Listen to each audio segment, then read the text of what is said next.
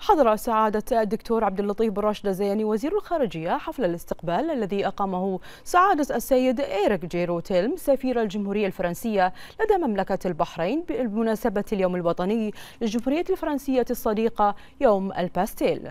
وذلك بحضور عدد من كبار المسؤولين ورؤساء البعثات الدبلوماسية المعتمدة لدى مملكة البحرين.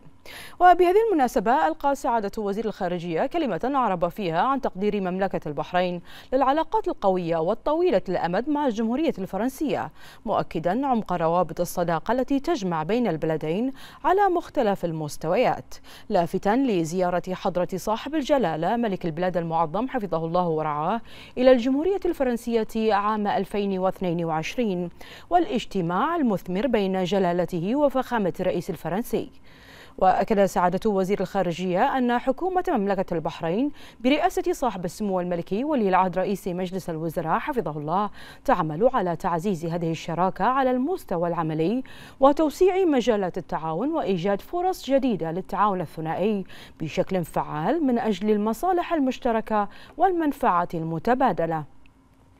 وأثنى سعادة وزير الخارجية على العلاقات الودية بين الشعبين البحريني والفرنسي مشيرا إلى تطلعاتهما المشتركة ومعربا عن ثقته في أن الشراكة بين البلدين سوف تتعزز في السنوات المقبلة.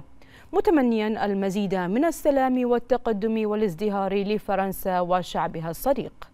من جانبه ألقى سعادة السيد إيريك جيروتيلم سفير الجمهورية الفرنسية لدى مملكة البحرين كلمة خلال الحفل أعرب فيها عن سعادته بالاحتفال بذكر اليوم الوطني الفرنسي على أرض مملكة البحرين.